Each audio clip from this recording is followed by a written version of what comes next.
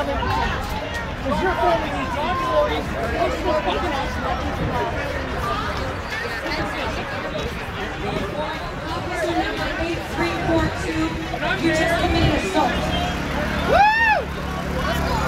You should be! Most people might not realize this, but also written within our laws. The people do have the authority to lawfully enforce a citizen's arrest of any member that is committing a crime.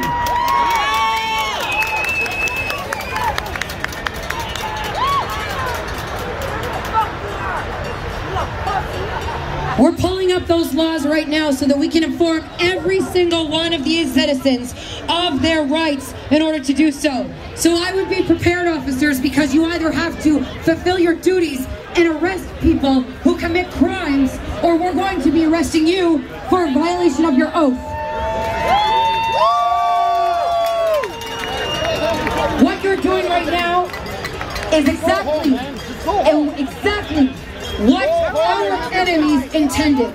This is how they rise citizens to be radical. Decide which side of the law you stand on. Decide. We don't want to have conflict with you. We've defended you. We've defended you non-stop for eight months. And we will stand by you if you honor your oath and about face like you should.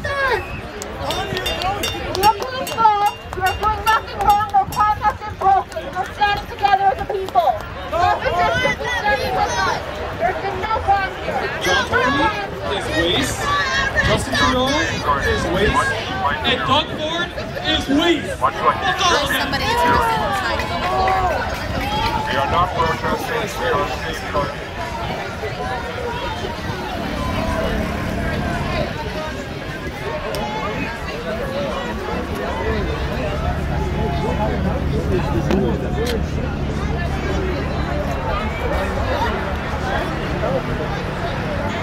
Just trying to get some food.